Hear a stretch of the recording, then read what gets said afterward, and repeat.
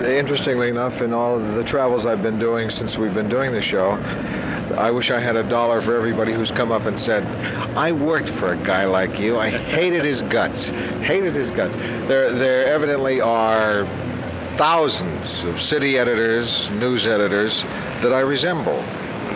Or at least it, it's a constant ogre image that is found in city rooms.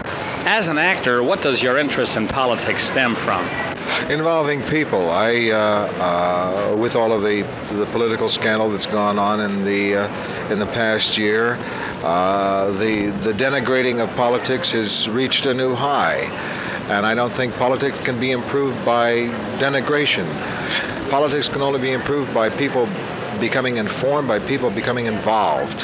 The Democratic Telethon is one way of people becoming involved. And that's by their money, and maybe if some of the cynics who say uh, politics is a dirty racket, perhaps if they parted with some money in response to an appeal to help a party, to help an institution, perhaps politics might be improved. Some people think that actors are used for window dressing and that isn't really very legitimate in politics.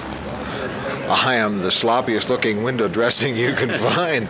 But I, I've, I have uh, been, been bothered by this, uh, by this conflict of why should an actor and what he says mean anything to anybody else? What qualifies an actor to speak out? I, I am here to enjoy San Diego weather. God, it's beautiful. Uh, but I'm also here to, to contribute to, to help erase a debt.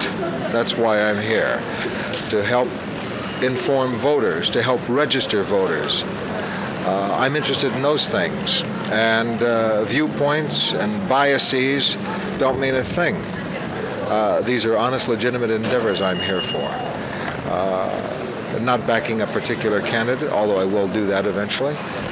But um, uh, when an actor speaks his mind, I hope somebody's around to challenge him on what his mind is.